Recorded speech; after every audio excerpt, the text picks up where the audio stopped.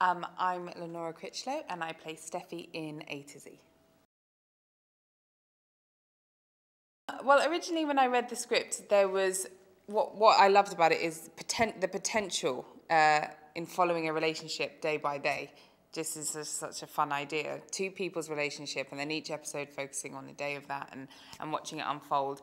And the characters are just fun. There was a lot of scope to kind of put myself into, um, or my opinion and my input into the character. So it was just kind of, it was an inviting script uh, and, and funny.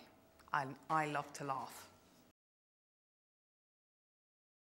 It kind of it follows it centers around a relationship, the relationship between Zelda and Andrew, and uh, I play Steffi, who is Zelda's best friend, and then there's Stu, who's Andrew's best friend, and um, so we kind of I, I like to think of our characters framing this kind of um, relationship between Andrew and Zelda, and we follow their kind of blocks and ups and downs as they try and navigate their way through something quite lovely and uh, intimate between themselves, a, a romantic relationship between them.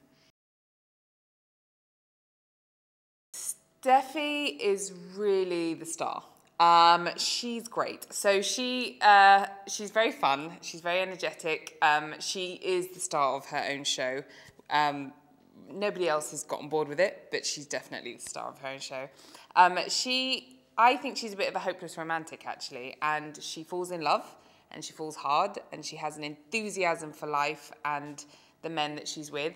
So she will throw herself into their interests, sometimes get a little lost in there, but uh, A for effort. And she's a good, loyal friend, and I think she, she genuinely has a heart of gold and wants her best friend to find love and happiness as she wants for herself.